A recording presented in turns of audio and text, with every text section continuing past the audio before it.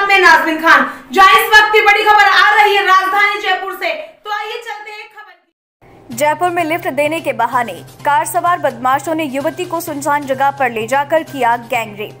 Gangrape के बाद युवती को सुनसान जगह पर छोड़कर चले गए। युवती बदहवास स्थिति में किसी तरह से रात करीब तीन बजे सड़क किनारे पहुँची और कार सवार लोगों को रोककर पूरी बात बताई। युवती अपनी दोस्त के साथ पार्टी के लिए गई थी, लेकिन झगड़ा होने की वजह से वो उसे वहीं छोड़कर चला गया। फ़िलहाल भागरोटा पुलिस मामले की जाँच कर रही है। दोस्त के साथ पार्टी करने गई थी युवती।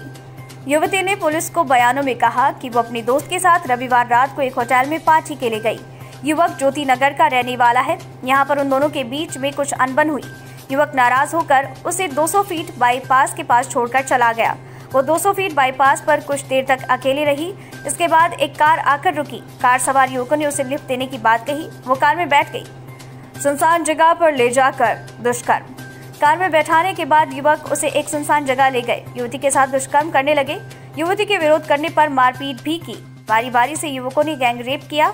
युवक दो से तीन बताए जा रहे हैं। उसके बाद युवक उसे वहीं जयपुर में लिफ्ट के बहाने युवती से गैंग रेप। दोस्त के साथ रात को पार्टी करने गई थी। झगड़ा होने पर युवती को छोड़ गया था वो दोस्त।